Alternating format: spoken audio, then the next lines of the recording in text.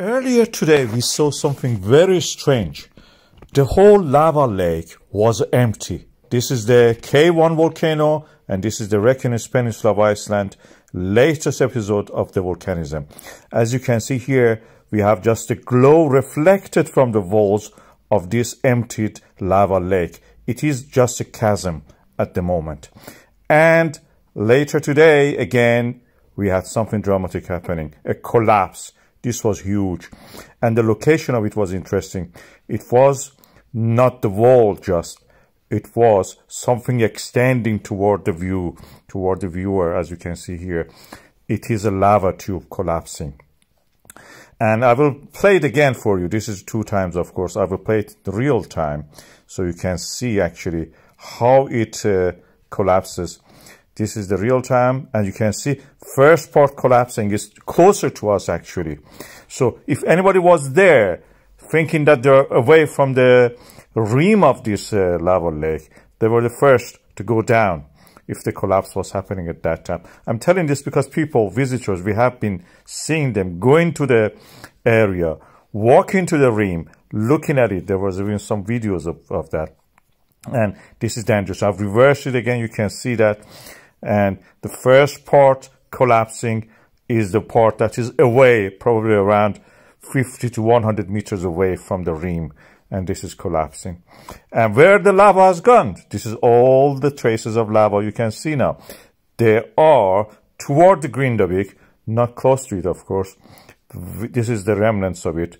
The lava lake was drained, just a small amount remained, and this is the what is advancing and it will gradually cool down if the volcano don't become active. I have that video which showed that what happened when the people were close to that uh, rim. This is similar to the lava tubes that we see in the Hawaii volcanoes. And uh, as you can see here, it's just a crust holding the, uh, you know, weight of the people and anything else that on top of it. Uh, there is a video which shows a few tourists, uh, a couple and a kid, it appears, approaching the K1 crater volcano. Uh, two hours before that, this MBL uh, video I, uh, I, had, just because of the heat rising from the volcano, was showing it beautifully in the clear sky.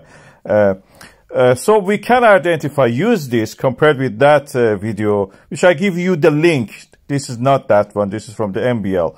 And this gives me a chance actually to find something that I can scale it and use the uh, data scale to measure the size of the volcano. That is the area that uh, uh, the um, those tourists were approaching. This is the closest point to the lava from the Sunduka old craters, and this is the uh, quite a channel that you can see there.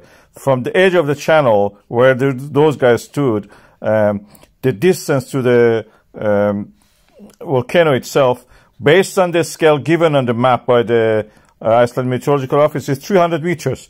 And 300 meters from there for the uh, to the edge of the volcano. The volcano itself, from one side to the other side, in my estimate, is uh, 120 meters. So based on that, we can use the image from the MBL actually to measure the height of the volcano. This is the area that those familiar features stand in the white rectangle, a point the base of the cone, and you can see 120 meters starts from there to the end of that other side. The height of the volcano, which is you can see here the highest point of it, in my estimate is around 40 meters. So this is the closest we can get to estimating the size of this.